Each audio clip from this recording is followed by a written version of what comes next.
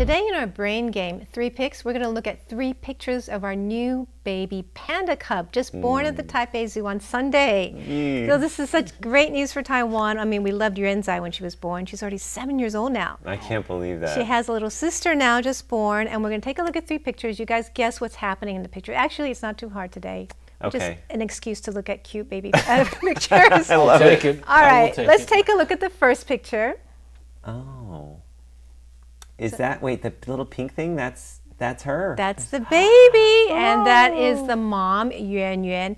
You notice the size difference, right? oh Yeah. yeah. She's only 186 grams, one one thousandth the size of her mom. So actually, giant pandas have the smallest babies of all placental mammals. Wow. So that is her hugging the baby right after she was born. That's hard to do. That is really hard. Yeah, If you have she big hands- actually, you know, uh, scraped her a little bit, cut her a tiny bit, but she's fine now. She's healed. no. So she's doing okay. Oh no. Okay.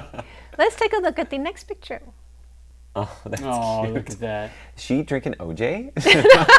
Looks like my protein shake. You know what I'm you don't want so this protein No. shake. she is drinking breast milk, right? And they expressed it from her. So she's actually not living with her mom right now because her mom can be a little bit rough, you know. And uh, so they're expressing the milk, and sh- that was the first time she drank.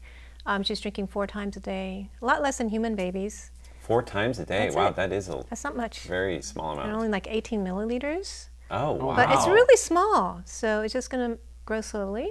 Mm-hmm. So that's the cute baby picture there. And Love one it. more baby picture. Oh, She looks like a little so sausage. guess where she is. guess where the baby is in this picture. Is that a tiny igloo? She's. Why don't you take a guess, Leslie? she's probably in the zoo, right? Eh, She's at the zoo Yeah. and she's in an incubator. Yeah, Oh. she's Oh. actually in an incubator. So she's going to be there for about a month. And Yuan Zai had the same process, and then she went to live with her mom. Okay, so so about around a month's time, she's going to live with her mom. And um, in the meanwhile, uh, I think the zoo is going to ask us to pick a name for her, the public, and they're hoping that she can be ready to face the public by Christmas. Mm, So, are you guys excited about that? I am. I can't wait to see what the name is. Do you have any ideas, Leslie? I have no idea. They have You, your can, inside, you right? should The other give one's some fun. suggestions. It's got to be a food thing, some round food, like maybe wakwe or Sausage. bawan. That's a good one. A good And one. we do have something else today. We have a video of the birth. oh wow! So let's take a look at that. A star was born on Sunday afternoon at the Taipei Zoo. After five hours of labor, panda mom Yuan Yuan gave birth to a female cub. Yuan Yuan picks her cub up with her mouth and holds her in her arms. The cub weighs just 186 grams. Unfortunately, Yuan Yuan slightly injures the baby during the embrace. She has a cut on her shoulder bone that veterinarians quickly treat. Yuan Yuan is exhausted from the birth, so the vet has taken some of her milk to feed the newborn cub. The vet wipes the cub's mouth and feeds her and tries to get her to make a bowel movement. The new panda cub is now in an incubator. Taipei Zoo spokesperson Eric Tsao says the cub just drank 18 milliliters of milk.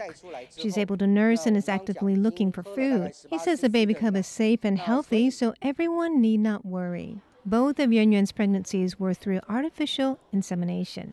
They've tried every year, and this year she got lucky. Both times, Yuan Yuan also accidentally injured her baby, so they had to be separated from her during the first month. It's not easy being a mama bear. Here, Yuan Yuan is experiencing labor pain ahead of the birth. The panda cub will say hello to the public when she's about six months old, an event that's likely to draw a crowd.